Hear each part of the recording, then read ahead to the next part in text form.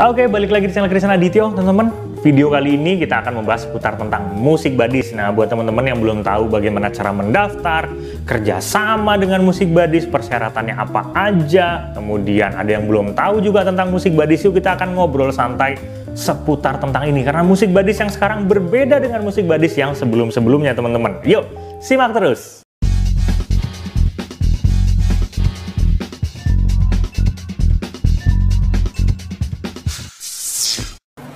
Oke, terima kasih buat teman-teman yang sudah klik video ini. Terima kasih juga buat teman-teman yang sudah stay di channel ini dan juga sudah subscribe channel ini.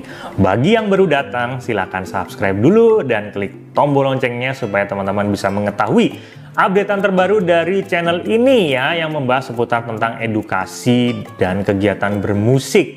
Nah, terutama Mas Kris.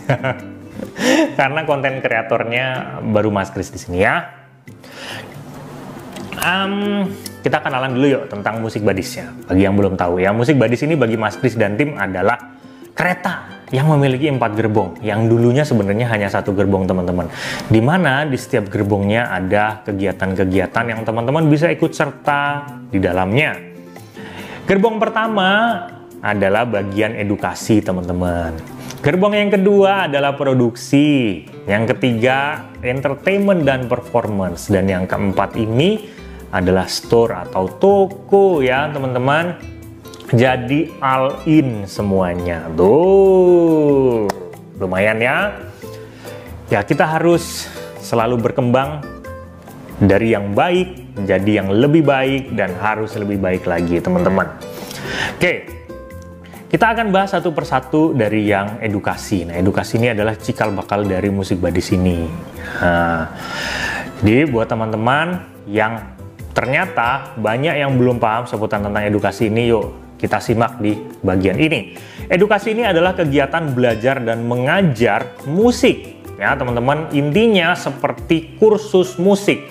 Tapi kita memiliki dua program yaitu online dan offline.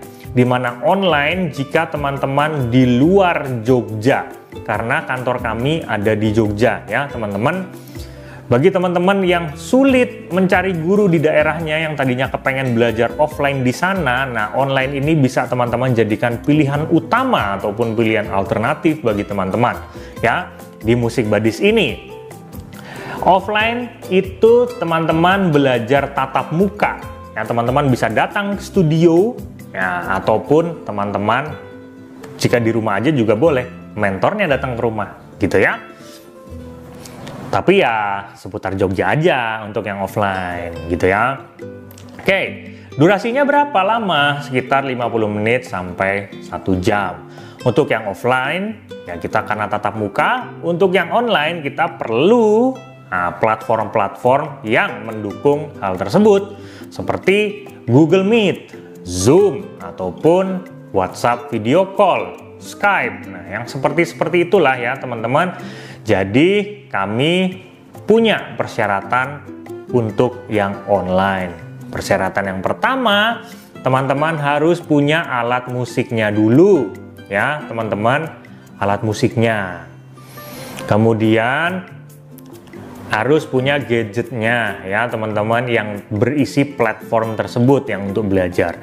Yang ketiga ini koneksi yang stabil ya, walaupun tidak mungkin bisa stabil terus, tapi minimal ada kestabilan di situ ya. Jangan sampai kita selama satu jam itu, Hah, apa Mas Kris? Belajarnya apa tadi? Nggak kedengeran Mas Kris, putus-putus. Nah, pusing begitu. Walaupun ada momen yang kayak gitu, pasti ada sih momen yang kayak gitu, putus-putus nih Mas Kris.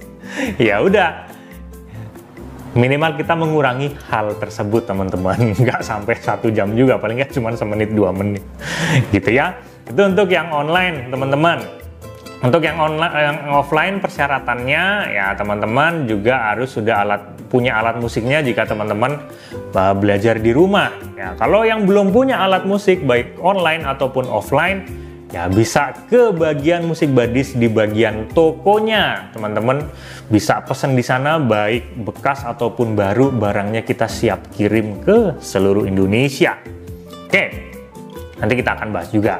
Nah untuk pemilihan alat musiknya, teman-teman bisa pilih sesuai dengan minatnya masing-masing ya. Piano, keyboard, vokal, gitar, saksofon, trompet, trombon, flute, bahkan alat-alat musik yang sulit untuk di, um, untuk mencari mentornya kita bisa bantu untuk cari mentornya ya teman-teman. Di musik badis ini ada tiga paket. Paket A untuk empat kali mentoring satu bulan. Berarti satu minggu satu kali ya. Kemudian yang paket B enam kali enam kali mentoring. Selama satu bulan minggu pertama dua kali minggu kedua sekali minggu ketiga dua kali minggu keempat sekali jadi ataupun rolling. Yang ketiga ini paket C ya, 8 kali mentoring selama sebulan, jadi seminggu dua kali itu. Untuk jadwalnya bisa fleksibel ya, teman-teman bisa fleksibel. Tapi jika sudah lewat dua minggu, maka pertemuan itu akan hangus. Jadi misalnya gini, teman-teman, Mas minggu ini saya izin, minggu kedua, minggu berikutnya juga izin, maka minggu yang kedua itu akan hangus ya. Kemudian uh, untuk reschedule, teman-teman bisa reschedule bebas ya, bebas dengan ketentuan yang tadi ya. Jadi um, di sini kita bisa fleksibel tapi juga ada ketentuannya gitu ya teman-teman. Kasihan juga mentornya nunggu lama-lama. Nah, jamnya maksimal sampai jam 11 malam. Jadi bagi teman-teman yang mau belajar midnight itu juga bisa di sini. Wah, asik banget ya di sini. Mas Kris punya badis itu ada yang belajar sampai jam 11 malam tuh, jam 10, jam 11 malam. Ada beberapa mentor lain juga sampai dari jam 9, jam 10 itu juga ada. Itu enaknya di musik badis teman-teman ya. Kalau yang lain kan jam 8 udah tutup. Kalau di sini bisa malam. Jadi bagi teman-teman yang kerjanya sampai malam, ya, masih bisa asik-asik main musik di sini. Tuh. Itu untuk yang online ya. Kalau yang offline nggak sampai jam 11. offline ya cuman sampai jam 10 malam aja. Gitu ya. Nah, terus bagi teman-teman yang difabel mata seperti Mas Kris ini, teman-teman bisa mengikuti program musik badis ini gratis ya. Jadi nanti ada program kelas untuk teman-teman yang uh, di disabilitas ya teman-teman bisa mengikuti itu tanpa dibungut biaya apa pun. Harapannya teman-teman bisa uh, berkarya juga di situ ya. Ini untuk uh, yang edukasi. Kalau yang belum paham seputar tentang ini, masih mau tanya-tanya persyaratannya kayak gimana ataupun belum jelas dari apa yang Mas jelaskan sekarang, teman-teman bisa hubungi nomor yang ada di deskripsi ya, yang di bagian musik badisnya.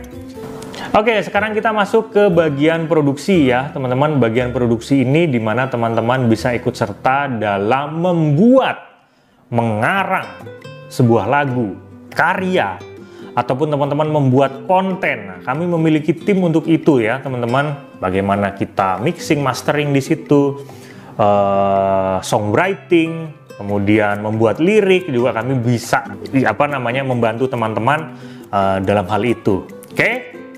Jadi, produksi ini seputar tentang kegiatan produktif ya, teman-teman di mana teman-teman membuat sebuah karya.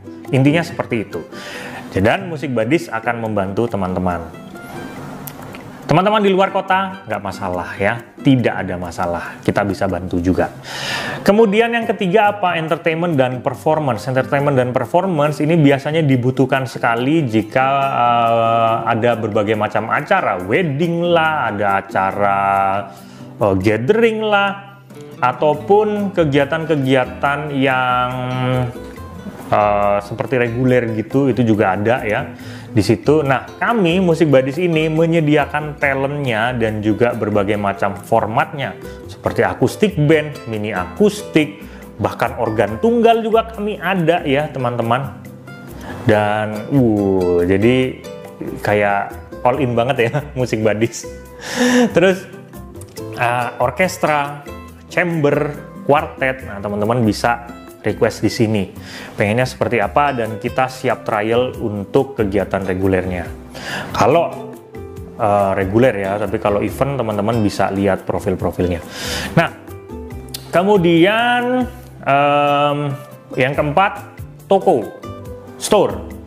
Kayak tadi, bagi teman-teman yang belum mempunyai alat musik, teman-teman bisa kami bantu untuk mencarikan alat musiknya di sini ataupun teman-teman bisa konsultasi dengan kami yang di bagian tokonya ini kira-kira jenis apa brand apa yang cocok untuk teman-teman ya. Biasanya kan dilihat dari budgetnya kemudian dilihat dari suka suaranya yang seperti apa dilihat dari juga karakternya pengen yang kayak gimana Nah, kita bisa membantu eh, teman-teman uh, yang berkeperluan seperti itu, ataupun teman-teman seorang pemain band lagi mencari alat musik.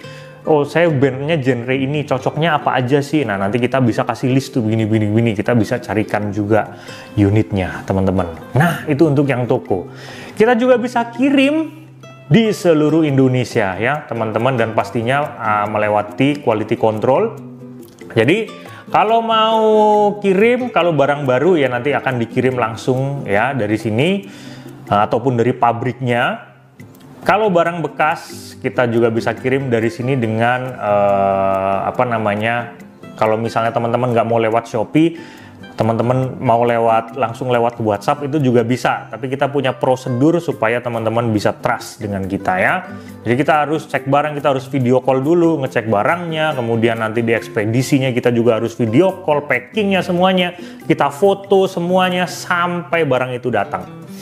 Ya kita akan bantu. Itu untuk yang uh, bagian toko. Di situ ada nomor tersendiri untuk yang toko teman-teman bisa hubungi yang ada di situ ya. Kita pisahin ya antara tiga, gerbong di atas dan toko ini. Nah, sampai di sini dulu aja. Semoga teman-teman bisa ada gambaran, bisa terjelaskan. Kalau yang belum jelas ya silakan teman-teman hubungi nomor yang ada di deskripsi itu. Gitu ya teman-teman, kita ketemu di kesempatan berikutnya. Harapannya teman-teman bisa ikut serta di Musik Badis ini. Yuk!